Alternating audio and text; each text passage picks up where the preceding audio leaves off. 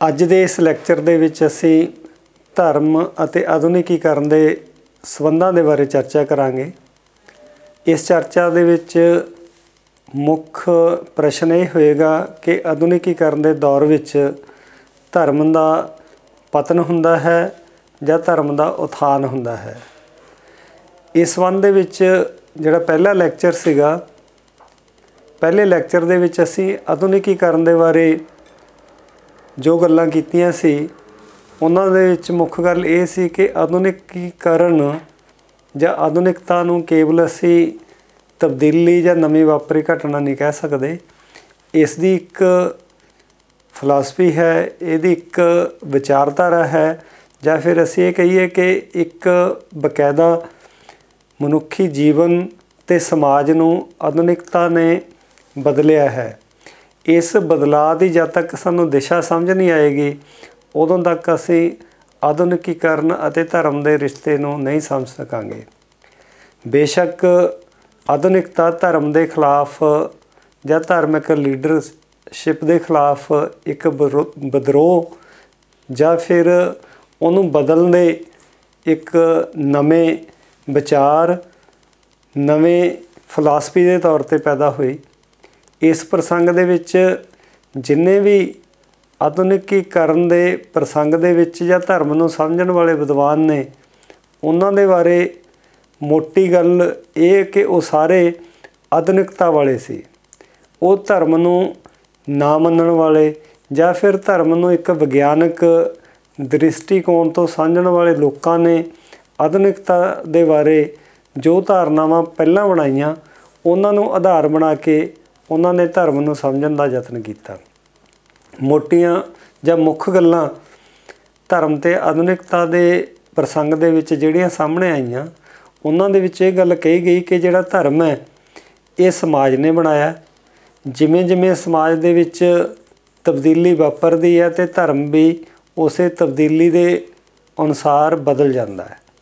ਇਸ ਕਰਕੇ ਵਿਦਵਾਨਾਂ ਨੇ ਇਹ ਧਾਰਨਾ ਬਣਾਈ ਕਿ ਬਹੁਤ ਸਾਰੇ ਜਿਹੜੇ ਕਾਰਜ ਪੁਰਾਣੇ ਜਾਂ ਪ੍ਰਾਚੀਨ ਸਮਾਜਾਂ ਦੇ ਵਿੱਚ ਧਰਮ ਵੱਲੋਂ ਕੀਤੇ ਜਾਂਦੇ ਸੀ, ਆਧੁਨਿਕ ਸਮਾਜਾਂ ਦੇ ਵਿੱਚ ਉਹ ਕਾਰਜ ਹੋਰਨਾਂ ਸੰਸਥਾਵਾਂ ਨੇ ਸੰਭਾਲ ਲਏ। ਜਿਸ ਤਰ੍ਹਾਂ ਉਦਾਹਰਨ ਦੇ ਵਿੱਚ ਆਪਾਂ ਗੱਲ ਕਰ ਲਈਏ, ਪੀਟਰ ਐਲ ਵਰਗਰ ਨੇ ਕਿਹਾ ਕਿ ਪ੍ਰਾਚੀਨ ਸਮਾਜਾਂ ਦੇ ਵਿੱਚ ਇੱਕ ਈਸ਼ਵਰੀ ਨਿਆਂ ਹੁੰਦਾ ਸੀ। ਜਿਹੜਾ ਈਸ਼ਵਰੀ ਨਿਆਂ ਅੱਜ ਦੇ ਆਧੁਨਿਕ ਸਮਾਜਾਂ ਦੇ ਵਿੱਚ ਉਹ ਲੀਗਲ ਰੈਸ਼ਨਲ ਅਥਾਰਟੀ ਦੇ ਵਿੱਚ ਬਦਲ ਗਿਆ, ਜਿਹੜਾ ਕਨਸੈਪਟ ਮੈਕਸ ਵੈਬਰ ਨੇ ਦਿੱਤਾ ਹੈ। ਜਾਂ ਫਿਰ ਇਹ ਗੱਲ ਕਹੀ ਗਈ ਕਿ ਪੁਰਾਣੇ ਸਮਾਜ ਇਕਜੁੱਟ ਹੁੰਦੇ ਸੀ, ਉਹਨਾਂ ਦੇ ਵਿੱਚ ਏਕਾ ਸੀ ਤੇ ਧਰਮ ਇਕਜੁੱਟਤਾ ਨੂੰ ਬਣਾ ਕੇ ਰੱਖਦਾ ਸੀ। ਆਧੁਨਿਕ ਸਮਾਜਾਂ ਦੇ ਵਿੱਚ ਜਿੱਥੇ ਸਮਾਜਿਕ ਏਕਾ ਟੁੱਟਿਆ, ਏਕਾ ਟੁੱਟਣ ਦੇ ਨਾਲ ਇਹਨਾਂ ਨੇ ਧਰਮ ਨੂੰ ਵੀ ਤੋੜ ਦਿੱਤਾ। ਜਿਸ ਕਰਕੇ ਧਰਮ ਦਿਨੋਂ ਦਿਨ ਸੁੰਗੜਦਾ ਜਾ ਰਿਹਾ ਹੈ।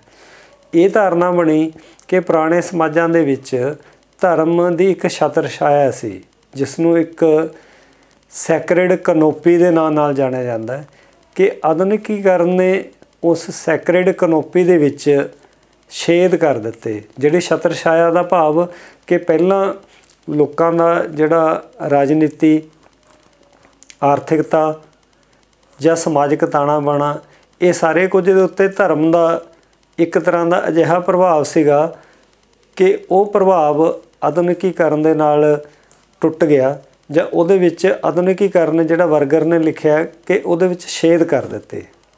ਦੂਸਰੀ ਮਹੱਤਵਪੂਰਨ ਧਾਰਨਾ ਇਹ ਆਈ ਕਿ ਜਿਹੜਾ ਵਿਚਾਰ ਧਾਰਕ ਪੱਖ ਤੋਂ ਜਿਹੜਾ ਧਰਮ ਹੈ, ਆਧੁਨਿਕਵਾਦੀਆਂ ਨੇ ਕਿਹਾ ਕਿ ਧਰਮ ਅੰਧ ਵਿਸ਼ਵਾਸ ਹੈ। ਦੂਸਰੀ ਧਾਰਨਾ ਦੇ ਮੁਤਾਬਕ ਕਿ ਜੇ ਧਰਮ ਅੰਧ ਵਿਸ਼ਵਾਸ ਹੈ ਤਾਂ ਅੱਜ ਦੇ ਆਧੁਨਿਕ ਸਮਾਜਾਂ ਦੇ ਵਿੱਚ ਤਰਕ ਦੇ ਆਧਾਰ ਤੇ ਸਾਨੂੰ ਗੱਲ ਕਰਨੀ ਚਾਹੀਦੀ ਹੈ। 18ਵੀਂ ਸਦੀ ਦੇ ਜਿਹੜੀ ਇਨਲਾਈਟਨਮੈਂਟ ਦੀ ਮੂਵਮੈਂਟ ਹੈ, ਉਹਦਾ ਆਧਾਰ ਹੀ ਇਹ ਮੰਨਿਆ ਗਿਆ ਕਿ ਜਿਸ ਗੱਲ ਦੀ ਅਸੀਂ ਤਰਕਿਕ ਵਿਆਖਿਆ ਨਹੀਂ ਕਰ ਸਕਦੇ, ਉਹਦੀ ਕੋਈ ਹੋਂਦ ਨਹੀਂ ਹੈ।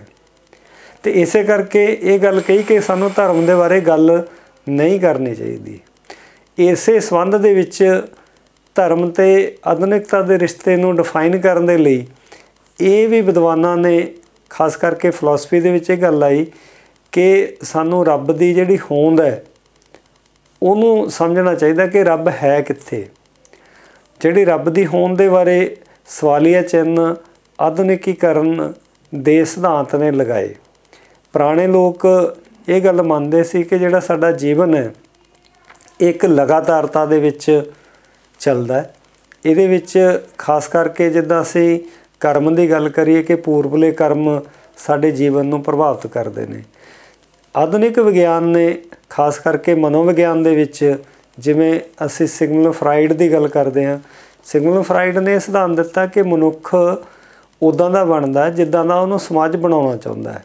ਇਹਦਾ ਭਾਵ ਇਹ ਹੋਇਆ ਕਿ ਮਨੁੱਖ ਨੂੰ ਬਣਾਉਣ ਦੇ ਲਈ ਜਿਹੜਾ ਸਮਾਜਿਕ ਦੱਬ ਹੈ ਸਿਗਮਲ ਫਰਾਇਡ ਦੀ ਕਿਤਾਬ ਟੋਟਮ ਐਂਡ ਟੈਬੂ ਦੇ ਵਿੱਚ ਉਹਨੇ ਕਿਹਾ ਕਿ ਧਰਮ ਮਨੁੱਖ ਦੇ ਉੱਤੇ ਕੁਝ ਖਾਸ ਕਿਸਮ ਦੀਆਂ ਰੋਕਾਂ ਲਾਉਂਦਾ ਹੈ। ਜਿੱਦਾਂ ਸਮਾਜ ਮਨੁੱਖ ਨੂੰ ਇੱਕ ਦਾਬੇ ਦੇ ਅਧੀਨ ਰੱਖਦਾ ਹੈ ਤੇ ਧਰਮ ਉਸ ਦਾਬੇ ਨੂੰ ਅਧੀਨ ਕਰਨ ਦੇ ਵਿੱਚ ਇੱਕ ਰੋਲ ਪਲੇ ਕਰਦਾ ਹੈ। ਤੇ ਸਿਗਮੰਡ ਫਰਾਇਡ ਦੀ ਇਸ ਧਾਰਨਾ ਦੇ ਨਾਲ ਮਨੋਵਿਗਿਆਨੀਆਂ ਨੇ ਧਰਮ ਦੇ ਬਾਰੇ ਉਦਾਂ ਦੇ ਜਿਹੜੇ ਅਸੀਂ ਕਹਿੰਦੇ ਕਿ ਪੂਰਵ ਖਿਆਲ ਬਣਾ ਲਏ ਕਿ ਧਰਮ ਮਨੁੱਖ ਦੀ ਆਜ਼ਾਦੀ ਨੂੰ ਖਤਮ ਕਰਦਾ ਹੈ। ਜੇ ਮਨੁੱਖ ਦੀ ਆਜ਼ਾਦੀ ਨੂੰ ਖਤਮ ਕਰਦਾ ਤਾਂ ਮਨੁੱਖ ਨੂੰ ਆਜ਼ਾਦੀ ਕੌਣ ਦੇਵੇ? ਇਹਦੇ ਲਈ ਫਿਰ ਇਹ ਗੱਲ ਚੱਲਦੀ ਕਿ ਮਨੁੱਖ ਨੂੰ ਜੇਕਰ ਆਜ਼ਾਦੀ ਦੇਣੀ ਹੈ ਤਾਂ ਉਹ ਸਟੇਟ ਹੈ, ਕਾਨੂੰਨ ਹੈ। ਧਰਮ ਦੇ ਪੈਰਲਲ ਜਿਸ ਤਰ੍ਹਾਂ ਆਪਾਂ ਪਹਿਲਾਂ ਗੱਲ ਕਰ ਰਹੇ ਸੀ ਕਿ ਇੱਕ ਈਸ਼ਵਰੀ ਨਿਆਂ ਦਾ ਜਿਹੜਾ ਲੋਕਾਂ ਦਾ ਵਿਸ਼ਵਾਸ ਸੀਗਾ, ਧਰਮ ਨੇ ਇਹ ਮੇਨਟੇਨ ਕੀਤਾ ਹੋਇਆ ਸੀ ਪੁਰਾਣੇ ਸਮਾਜਾਂ ਦੇ ਵਿੱਚ। ਆਧੁਨਿਕ ਸਮਾਜਾਂ ਦੇ ਵਿੱਚ ਇਹ ਗੱਲ ਹੋ ਗਈ ਕਿ ਜਿਹੜਾ ਨਿਆਂ ਹੈ, ਉਹ ਈਸ਼ਵਰ ਨੇ ਨਹੀਂ, ਉਹ ਸਾਨੂੰ ਕਾਨੂੰਨ ਨੇ, ਸਟੇਟ ਨੇ ਜਾਂ ਕੋਰਟ ਕਚਹਿਰੀਆਂ ਨੇ ਦੇਣਾ ਇਹਦੇ ਨਾਲ ਕੀ ਹੋ ਗਿਆ ਕਿ ਜਿਹੜਾ ਧਰਮ ਦੇ ਧਾਰਮਿਕ ਲੀਡਰਸ਼ਿਪ ਧਰਮ ਦੇ ਨਾਲ ਜੁੜੀ ਹੋਈ ਜਿਹੜੀ ਸਾਡੀ ਇੱਕ ਕੁਦਰਤੀ ਆਸਥਾ ਸੀਗੀ, ਉਹ ਟੁੱਟ ਗਈ। ਦੂਸਰਾ ਜਦੋਂ ਫਰਾਂਸ ਦੇ ਵਿੱਚ ਰਾਜਨੀਤਿਕ ਕ੍ਰਾਂਤੀ ਆਉਂਦੀ ਹੈ ਕਿ ਧਰਮ ਤੇ ਰਾਜਨੀਤੀ ਨੂੰ ਇੱਕ ਦੂਸਰੇ ਤੋਂ ਅਲੱਗ ਕਰ ਦਿੱਤਾ ਗਿਆ, ਇਹਦੇ ਨਾਲ ਇਹ ਫ਼ਰਕ ਪਿਆ ਕਿ ਧਰਮ ਸਾਡੇ ਨਿਤ ਪ੍ਰਕਿਰਿਆ ਦੇ ਵਿੱਚੋਂ ਹੌਲੀ-ਹੌਲੀ ਘਟਣਾ ਸ਼ੁਰੂ ਹੋਇਆ।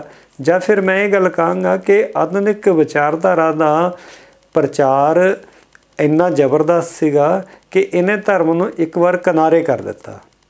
ਧਰਮ ਨੂੰ ਕਿਨਾਰੇ ਕਰਨ ਦੇ ਲਈ ਫਿਰ ਬਕਾਇਦਾ ਆਧੁਨਿਕ ਚਿੰਤਨ ਡਿਵੈਲਪ ਕੀਤਾ ਗਿਆ, ਜਿਹਦੇ ਵਿੱਚ ਇਹ ਗੱਲ ਕਹੀ ਗਈ ਕਿ ਧਰਮ ਨੂੰ ਮੰਨਣ ਵਾਲੇ ਲੋਕ ਪਛਾਖ ਪਿੱਛੇ ਖਿੱਚਣ ਵਾਲੇ ਨੇ, ਪੁਰਾਣੇ ਖਿਆਲਾਂ ਦੇ ਹੁੰਦੇ ਨੇ ਤੇ ਸਾਨੂੰ ਨਵੇਂ ਖਿਆਲਾਂ ਦੇ ਨਾਲ ਜੀਵਨ ਜਿਉਣਾ ਚਾਹੀਦਾ।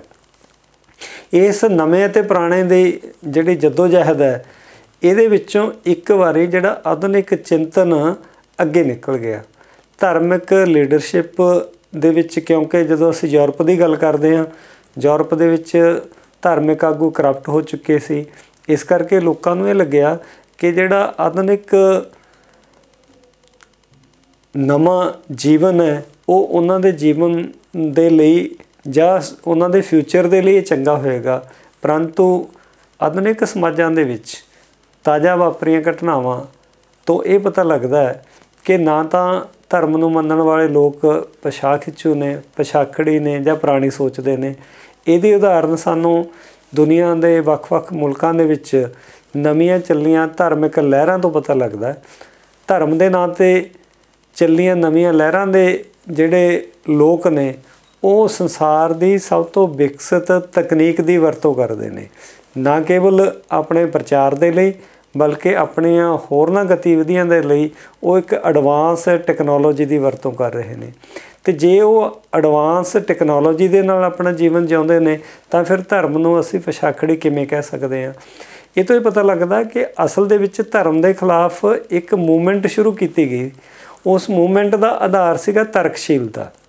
ਜਿਸ ਤਰ੍ਹਾਂ ਆਪਾਂ ਪਹਿਲੇ ਲੈਕਚਰ ਦੇ ਵਿੱਚ ਗੱਲ ਕੀਤੀ ਸੀ ਕਿ ਮੈਕਸ ਵੈਬਰ ਨੇ ਕੈਪੀਟਲਿਜ਼ਮ ਦੀ ਡਿਵੈਲਪਮੈਂਟ ਔਰ ਤਰਕਸ਼ੀਲਤਾ ਨੂੰ ਇੱਕੋ ਜਿਹੇ ਜਾਂ ਫਿਰ ਇਹ ਕਿਹਾ ਕਿ ਤਰਕਸ਼ੀਲਤਾ ਨੂੰ ਆਧਾਰ ਬਣਾਇਆ ਕਿ ਇਸੇ ਕਰਕੇ ਕੈਪੀਟਲ ਡਿਵੈਲਪਮੈਂਟ ਹੋਈ ਹੈ। ਤੇ ਜੇਕਰ ਕੈਪੀਟਲ ਡਿਵੈਲਪਮੈਂਟ ਕਰਨੀ ਹੈ, ਤਾਂ ਫਿਰ ਸੁਭਾਵਿਕ ਸੀਗਾ ਕਿ ਪੁਰਾਣੇ ਸਮਾਜਾਂ ਨੂੰ ਨਵੇਂ ਜੀਵਨ ਦੇ ਮੁਤਾਬਕ ਢਾਲਿਆ ਜਾਵੇ। ਇਸ ਢਾਲ ਦੇ ਵਿੱਚ ਜਾਂ ਇਸ ਢਾਲਣ ਦੀ ਪ੍ਰਕਿਰਿਆ ਦੇ ਵਿੱਚ ਆਧੁਨਿਕ ਚਿੰਤਨ ਜਾਂ ਫਿਰ ਇਹਦੇ ਨਾਂ ਤੇ ਤਰਕਸ਼ੀਲਤਾ ਦਾ ਬਹੁਤ ਜ਼ੋਰਦਾਰ ਪ੍ਰਚਾਰ ਕੀਤਾ ਗਿਆ। ਇਸ ਪ੍ਰਚਾਰ ਦਾ ਨਤੀਜਾ ਕੀ ਨਿਕਲਿਆ ਕਿ ਜਿਹੜਾ ਮਨੁੱਖ ਦਾ ਜਿਹੜਾ ਜੀਵਨ ਹੈ, ਉਹਦੇ ਵਿੱਚ ਇੰਬੈਲੈਂਸ ਪੈਦਾ ਹੋਇਆ। ਅਸਤੁਲਨ ਪੈਦਾ ਹੋਇਆ। ਇਸ ਅਸਤੁਲਨ ਦੇ ਨਾਲ ਕੀ ਹੋ ਗਿਆ ਕਿ ਆਰਥਿਕ ਤੌਰ ਤੇ ਜਿਹਨੂੰ ਅਸੀਂ ਕਹੀਏ ਕਿ ਸਧਾਰਨ ਜਾਂ ਸੌਖੇ ਸ਼ਬਦਾਂ ਦੇ ਵਿੱਚ ਕਿ ਪਦਾਰਥਿਕ ਪੱਧਰ ਤੇ ਤਾਂ ਮਨੁੱਖ ਨੇ ਬਹੁਤ ਉન્નਤੀ ਕਰ ਲਈ, ਪਰੰਤੂ ਅਧਿਆਤਮਿਕ ਤੌਰ ਤੇ ਕਿਉਂਕਿ ਪ੍ਰਚਾਰ ਇੰਨਾ ਜ਼ੋਰਦਾਰ ਸੀਗਾ, ਅਧਿਆਤਮਿਕ ਤਰੱਕੀ ਦੇ ਵੱਲ ਨੂੰ ਮਨੁੱਖ ਦਾ ਧਿਆਨ ਘਟ ਗਿਆ। ਨਤੀਜਾ ਕੀ ਹੋ ਗਿਆ ਕਿ ਇੱਕ ਪਾਸਾ ਜ਼ਿਆਦਾ ਵਿਕਸਿਤ ਹੋ ਗਿਆ। ਦੂਸਰੇ ਪਾਸੇ ਵੱਲ ਲੋਕਾਂ ਦਾ ਧਿਆਨ ਘੱਟ ਸੀਗਾ। ਅਸਤੁਲਨ ਪੈਦਾ ਹੋਣ ਕਰਕੇ ਸੰਸਾਰ ਭਰ ਦੇ ਵਿੱਚ ਅਜਿਹੀਆਂ ਨਾਮਰਾਦ ਬਿਮਾਰੀਆਂ ਪੈਦਾ ਹੋ ਗਈਆਂ, ਜਿਨ੍ਹਾਂ ਦੇ ਵਿੱਚ ਅਸੀਂ ਜੇ ਮੁੱਖ ਤੌਰ ਤੇ ਨਾਂ ਲੈਣਾ ਹੋਵੇ, ਅਸੀਂ ਏਡਸ ਦੀ ਗੱਲ ਕਰ ਸਕਦੇ ਹਾਂ। ਆਧੁਨਿਕਤਾ ਦੀ ਦੇਣ ਜਾਂ ਫਿਰ ਅੱਜ ਦਾ ਜਿਹੜਾ ਅਸੀਂ ਕਰੋਨਾ ਵਾਇਰਸ ਦੀ ਗੱਲ ਕਰਦੇ ਹਾਂ, ਜਾਂ ਤਰ੍ਹਾਂ ਤਰ੍ਹਾਂ ਦੇ ਇਸ ਤੋਂ ਪਹਿਲਾਂ ਜਿੰਨੇ ਵਾਇਰਸ ਆਏ ਨੇ, ਇਹਨੇ ਕੀ ਕਰ ਦਿੱਤਾ ਕਿ ਮਨੁੱਖ ਦੇ ਮਨ ਦੇ ਵਿੱਚ ਇੱਕ ਡਰ ਪੈਦਾ ਕਰ ਦਿੱਤਾ। ਦੂਸਰੇ ਪਾਸੇ ਜਿਹੜੀ ਤਰੱਕੀ ਹੋਈ ਹੈ, ਜਾਂ ਆਮ ਸਧਾਰਨ ਜੀਵਨ ਦੇ ਵਿੱਚ ਪਦਾਰਥਿਕ ਤੌਰ ਤੇ ਅਸੀਂ ਬਹੁਤ ਸੁੱਖ ਸਹੂਲਤਾਂ ਪੈਦਾ ਕਰ ਲਈਆਂ। ਪਰੰਤੂ ਮਾਨਸਿਕ ਤੌਰ ਤੇ ਸਾਡਾ ਜਿਹੜਾ ਮਨੋਵਿਗਿਆਨਕ ਤੌਰ ਤੇ ਸਾਡਾ ਸਮਾਜਿਕ ਜੀਵਨ ਕਿੱਦਾਂ ਦਾ ਹੋਵੇ, ਸਮਾਜਿਕ ਤੌਰ ਤੇ ਅਸੀਂ ਕਿੱਦਾਂ ਦਾ ਜੀਵਨ ਬਤੀਤ ਕਰਨਾ, ਜਾਂ ਫਿਰ ਜਿਵੇਂ ਅਸੀਂ ਪਹਿਲਾਂ ਗੱਲ ਕੀਤੀ ਸੀ ਕਿ ਆਧੁਨਿਕ ਸਟੇਟ ਜਿੱਥੇ ਪਹਿਲਾਂ ਧਾਰਮਿਕ ਲੀਡਰਸ਼ਿਪ ਦੇ ਵਿੱਚ ਕਰਪਸ਼ਨ ਸੀ, ਹੁਣ ਫਿਰ ਰਾਜਨੀਤਿਕ ਜਾਂ ਸਟੇਟ ਦੇ ਵਿੱਚ ਜਿਹੜੀ ਕਰਪਸ਼ਨ ਹੈ, ਦੱਬ ਹੈ, ਇਹਨੇ ਮਨੁੱਖ ਨੂੰ ਪਰੇਸ਼ਾਨ ਕਰ ਦਿੱਤਾ। ਆਧੁਨਿਕਤਾ ਦੇ ਨਾਲ ਮਨੁੱਖ ਦੇ ਸਾਹਮਣੇ ਭਾਵੇਂ ਸੁੱਖ ਸਹੂਲਤਾਂ ਮਿਲੀਆਂ ਨੇ, ਪਰੰਤੂ ਨਾਲ ਦੀ ਨਾਲ ਮਾਨਸਿਕ ਤੌਰ ਤੇ ਆਧੁਨਿਕ ਮਨੁੱਖ ਬੇਚੈਨ ਹੋ ਗਿਆ। ਸਮਾਜ ਦੇ ਵਿੱਚ ਬੈਲੈਂਸ ਪੈਦਾ ਹੋ ਗਿਆ। ਸਮਾਜ ਦੇ ਵਿੱਚ ਟੁੱਟ ਭੱਜ ਪੈਦਾ ਹੋ ਗਈ। ਜਿਵੇਂ ਅਸੀਂ ਉਦਾਹਰਨ ਲੈ ਸਕਦੇ ਹਾਂ ਕਿ ਪਰਿਵਾਰ ਟੁੱਟਣੇ ਸ਼ੁਰੂ ਹੋ ਗਏ। ਪਹਿਲਾਂ ਸਾਂਝੇ ਤੋਂ ਇਕਾਈ ਪਰਿਵਾਰ ਬਣਿਆ। ਫਿਰ ਇਕਾਈ ਪਰਿਵਾਰ ਅੱਗੇ ਫਿਰ ਟੁੱਟਣਾ ਸ਼ੁਰੂ ਹੋ ਗਿਆ। ਫਿਰ ਉਹਦੇ ਵਿੱਚ ਕੀ ਹੋ ਗਿਆ ਕਿ ਡਾਈਵੋ ਜਿਹੜਾ ਤਲਾਕ ਦੀ ਦਰ ਦਿਨੋਂ ਦਿਨ ਵਧਣੀ ਸ਼ੁਰੂ ਹੋ ਗਈ। ਦੁਨੀਆ ਪੱਧਰ ਤੇ ਤਲਾਕ ਵੱਧ ਗਏ। ਤਲਾਕ ਤੋਂ ਬਾਅਦ ਕੀ ਹੋ ਗਿਆ ਕਿ ਬੰਦਾ ਆਪਣੇ ਖੁਦ ਦੇ ਨਾਲੋਂ, ਆਪਣੇ ਬੰਦਾ ਹੋਣ ਦੇ ਨਾਲੋਂ ਟੁੱਟ ਗਿਆ ਤੇ ਬੰਦੇ ਦੇ ਵਿੱਚ ਜਿਸ ਦੇ ਬਾਰੇ ਸਿਗਮੰਡ ਫਰਾਇਡ ਨੇ ਪਹਿਲਾਂ ਗੱਲ ਕਹੀ ਸੀ ਕਿ ਮਨੁੱਖ ਦੇ ਵਿੱਚ ਪਸ਼ੂ ਪ੍ਰਵਿਰਤੀਆਂ ਜਾਂ ਉਸ ਦੀਆਂ ਜਿਹੜੀਆਂ ਇਰੋਟਿਕ ਨੀਡਸ ਨੇ ਡਿਜ਼ਾਇਰਸ ਨੇ, ਉਹ ਆਧੁਨਿਕਤਾ ਨੇ ਓਪਨ ਕਰ ਦਿੱਤੀਆਂ। ਆਧੁਨਿਕ ਮਨੁੱਖ ਇਸ ਬੇਫਿਕਰੀ ਦੇ ਵਿੱਚ ਜਾਂ ਫਿਰ ਆਜ਼ਾਦੀ ਦੇ ਨਾਂ ਤੇ ਅਜਿਹੇ ਮਤਲਬ ਕਾਰਜ ਜਾਂ ਕੰਮ ਕਰਨ ਲੱਗ ਪਿਆ ਜਿਹਦੇ ਨਾਲ ਕੀ ਹੋਏਗਾ ਕਿ ਜਿਹੜੀ ਸਾਡੀਆਂ ਸਮਾਜਿਕ ਕਦਰਾਂ, ਕੀਮਤਾਂ, ਨੈਤਿਕਤਾ ਜਾਂ ਫਿਰ ਸਮਾਜਿਕ ਜੀਵਨ ਦੇ ਵਿੱਚ ਜੋ ਇੱਕ ਸੰਤੁਲਨ ਬਣਾ ਕੇ ਰੱਖਣਾ ਸੀਗਾ, ਉਹ ਸੰਤੁਲਨ ਇਹਨੇ ਖਤਮ ਕਰ ਲਿਆ। ਫਿਰ ਜੇ ਸੰਤੁਲਨ ਖਤਮ ਹੋਏਗਾ ਤਾਂ ਸੁਭਾਵਿਕ ਹੈ ਕਿ ਜੀਵਨ ਦੇ ਵਿੱਚ ਟੈਨਸ਼ਨ, ਬੇਚੈਨੀ, ਉਪਰਾਮਤਾ, ਜਿਹੜੇ ਕਿ ਜਿਵੇਂ ਕਾਰਲ ਮਾਰਕਸ ਦੀ ਆਪਾਂ ਕੱਲ ਗੱਲ ਕਰ ਰਹੇ ਸੀਗੇ ਪਿਛਲੇ ਲੈਕਚਰ ਦੇ ਵਿੱਚ, ਉਹਨਾਂ ਨੇ ਕਿਹਾ ਕਿ ਇਲੀਨੇਸ਼ਨ ਪੈਦਾ ਹੁੰਦੀ ਹੈ। ਦਰਖੀਮ ਕਹਿੰਦਾ ਸੀ, ਅਨੋਮਿਕ ਸਿਚੁਏਸ਼ਨ ਪੈਦਾ ਹੋ ਜਾਂਦੀ ਹੈ, ਜਿਹਦੇ ਵਿੱਚ ਸੁਸਾਈਡ ਜਿੱਦਾਂ ਆਪਾਂ ਗੱਲ ਕਰ ਰਹੇ ਸੀ ਕਿ ਮਨੁੱਖ ਆਪਣੇ ਆਪ ਨਾਲ ਟੁੱਟ ਕੇ ਭਲਾ ਫਿਰ ਕੀ ਕਰੇਗਾ? ਆਪਣੇ ਜੀਵਨ ਨੂੰ ਖਤਮ ਕਰੇਗਾ। ਸੰਸਾਰ ਦੇ ਵਿੱਚ, ਸਮਾਜਾਂ ਦੇ ਵਿੱਚ ਆਤਮ ਹੱਤਿਆ ਦਾ ਰੇਟ ਵੱਧ ਰਿਹਾ ਹੈ। ਪੰਜਾਬ ਦੇ ਵਿੱਚ ਪਿਛਲੇ ਕਈ ਸਾਲਾਂ ਤੋਂ ਜਿਸ ਦੌਰ ਦੇ ਵਿੱਚ ਅਸੀਂ ਕਹਿ ਸਕਦੇ ਹਾਂ ਕਿ ਆਤਮ ਹੱਤਿਆਵਾਂ ਹੋਈਆਂ ਨੇ ਉਹ ਸਾਨੂੰ ਝੰਜੋੜਦੀਆਂ ਨੇ, ਸੋਚਣ ਲਈ ਮਜਬੂਰ ਕਰਦੀਆਂ ਨੇ। ਕੁਝ ਕਿਸਾਨਾਂ ਨੇ ਆਤਮ ਹੱਤਿਆ ਕੀਤੀਆਂ ਨੇ, ਕੁਝ ਨੌਜਵਾਨ ਵੀ ਜਿਹੜੇ ਨਸ਼ੇ ਵਰਤ ਰਹੇ ਨੇ। ਨਸ਼ਿਆਂ ਦੇ ਟੀਕੇ ਲਾ ਕੇ ਅਸੀਂ ਅਖਬਾਰਾਂ ਦੇ ਵਿੱਚ ਜਾਂ ਟੈਲੀਵਿਜ਼ਨ ਦੇ ਰਾਹੀਂ ਖਬਰਾਂ ਪੜ੍ਹਦੇ ਆ ਕਿ ਨੌਜਵਾਨ ਨਸ਼ੇ ਦੀ ਓਵਰ ਡੋਜ਼ ਦੇ ਨਾਲ ਮਰਦੇ ਨੇ। ਜਿਹੜਾ ਮਨੁੱਖ ਨਸ਼ਾ ਕਰਦਾ ਹੈ, ਇਸ ਕਿਸਮ ਦਾ ਨਸ਼ਾ ਵਰਤਦਾ ਹੈ, ਉਹਨੂੰ ਪਤਾ ਹੁੰਦਾ ਕਿ ਉਹਨੇ ਆਪਣੇ ਜੀਵਨ ਦੀ ਲੀਲਾ ਇੱਕ ਦਿਨ ਖਤਮ ਕਰਨੀ ਹੈ। ਜੇਕਰ ਸਾਡੇ ਨੌਜਵਾਨ ਆਪਣੇ ਜੀਵਨ ਨੂੰ ਖਤਮ ਕਰਨ ਦੇ ਵਿੱਚ ਨਸ਼ੇ ਵਰਤਦੇ ਨੇ, ਇਹ ਵੀ ਉਹਨਾਂ ਦੀ ਇੱਕ ਤਰ੍ਹਾਂ ਦੀ ਆਤਮ ਹੱਤਿਆ ਵਾਲੀ ਕਾਰਵਾਈ ਹੈ। ਸਮਾਜ ਦੇ ਵਿੱਚ ਜਿਹੜੀ ਆਤਮ ਹੱਤਿਆ ਦਾ ਪੈਦਾ ਹੋਣਾ, ਇਹ ਆਧੁਨਿਕਤਾ ਦੀ ਦੇਣ ਹੈ। ਜਾਂ ਫਿਰ ਜਿੰਨੇ ਆਸੀ ਕਲੇਸ਼ ਨੇ, ਜਿਵੇਂ ਲੋਕੀ ਕਹਿੰਦੇ ਸੀਗੇ ਕਿ ਪੜ੍ਹਿਆ ਲਿਖਿਆ ਬੰਦਾ ਮਾਡਰਨ ਹੁੰਦਾ ਪਰੰਤੂ ਪੜ੍ਹੇ ਲਿਖੇ ਲੋਕਾਂ ਦੇ ਵਿੱਚ ਜਿਸ ਕਿਸਮ ਦੀ ਜੈਲਸੀ ਜਾਂ ਆਪਸੀ ਕਾਟੋ ਕਲੇਸ਼ ਦੇਖਣ ਨੂੰ ਮਿਲਦਾ ਕਈ ਵਾਰ ਇਹ ਲੱਗਦਾ ਕਿ ਇਹਨਾਂ ਨਾਲੋਂ ਤਾਂ ਅਨਪੜ੍ਹ ਲੋਕ ਚੰਗੇ ਨੇ। ਇਹਨਾਂ ਦੀ ਲੜਾਈ ਸ਼ਹਿਰੀ ਲੋਕਾਂ ਦੇ ਵਿੱਚ ਜਿਸ ਕਿਸਮ ਦੇ ਅਸੀਂ ਗੱਲ ਕਰਦੇ ਹਾਂ ਕਿ ਸ਼ਹਿਰਾਂ ਦੇ ਵਿੱਚ ਦੰਗੇ, ਜੇ ਸਾਡੇ ਮੁਲਕ ਦੀ ਰਾਜਧਾਨੀ ਦਿੱਲੀ ਵਰਗੇ ਸ਼ਹਿਰ ਦੇ ਵਿੱਚ ਪਹਿਲਾਂ 84 ਦੇ ਵਿੱਚ ਜਾਂ ਹੁਣ ਦੰਗੇ ਹੋਏ ਨੇ, ਇਹ ਤੋਂ ਅਸੀਂ ਕੀ ਨਤੀਜਾ ਕੱਢਾਂਗੇ ਵੀ ਜੇ ਸਾਡੇ ਮਹਾਨਗਰ ਦੇ ਲੋਕ ਜਿਨ੍ਹਾਂ ਨੂੰ ਅਸੀਂ ਆਧੁਨਿਕ ਤੌਰ ਤੇ ਐਡਵਾਂਸ ਕਹਿੰਦੇ ਆ ਉਹ ਇੱਕ ਦੂਸਰੇ ਦੇ ਕਤਲ ਕਰਨ ਤੱਕ ਉਤਰ ਆਉਣ ਜਾਂ ਫਿਰ ਇੱਕ ਦੂਸਰੇ ਨੂੰ ਮਾਰਨ ਜਾਂ ਉਹਨਾਂ ਦੇ ਬਿਜ਼ਨਸ ਜਿਹੜੇ ਉਹਨਾਂ ਦੇ ਵਪਾਰਕ ਕੰਮਕਾਰ ਨੇ ਉਹਨਾਂ ਨੂੰ ਸਾੜ ਦੇਣ। ਫੇਰ ਭਲਾ ਇਹਨਾਂ ਨਾਲੋਂ ਤਾਂ ਜਿਹੜੇ ਜਿਨ੍ਹਾਂ ਲੋਕਾਂ ਨੂੰ ਅਸੀਂ ਅਨਪੜ੍ਹ ਕਹਿੰਦੇ ਆ ਜਿਨ੍ਹਾਂ ਲੋਕਾਂ ਨੂੰ ਆਧੁਨਿਕ ਬੰਦਿਆਂ ਨੇ ਗਵਾਰ ਕਿਹਾ, ਉਹ ਚੰਗੇ ਸੀਗਾ। ਤੇ ਉਹਨਾਂ ਦੇ ਚੰਗੇ ਹੋਣ ਦਾ ਆਧਾਰ ਇੱਕੋ ਸੀਗਾ ਕਿ ਉਹਨਾਂ ਲੋਕਾਂ ਦਾ ਜੀਵਨ ਧਰਮ ਤੇ ਆਧਾਰਿਤ ਸੀ। ਆਧੁਨਿਕ ਜੀਵਨ ਦਾ ਜਿਹੜਾ ਆਧਾਰ ਹੈ, ਜਦੋਂ ਉਹ ਖਤਮ ਹੋਇਆ, ਤਾਂ ਜੀਵਨ ਦੇ ਵਿੱਚ ਇਹ ਸਮੱਸਿਆਵਾਂ ਪੈਦਾ ਹੋਈਆਂ। ਹੁਣ ਇੱਕ ਵਾਰੀ ਫੇਰ ਜਦੋਂ ਮਨੁੱਖ ਦੇ ਸਾਹਮਣੇ ਇਹ ਬੇਚੈਨੀ ਹੈ ਟੈਨਸ਼ਨ ਹੈ ਜਾਂ ਫਿਰ ਜੀਵਨ ਦੀਆਂ ਜਿਹੜੇ ਅਸਤੁਲਨ ਨੇ, ਇਹਨਾਂ ਨੂੰ ਕਵਰ ਕਿਵੇਂ ਕੀਤਾ ਜਾਵੇ? ਇਹਨੂੰ ਕਵਰ ਕਰਨ ਦੇ ਲਈ ਲੋਕੀ ਫੇਰ ਧਰਮ ਵੱਲ ਪਰਤ ਰਹੇ ਨੇ।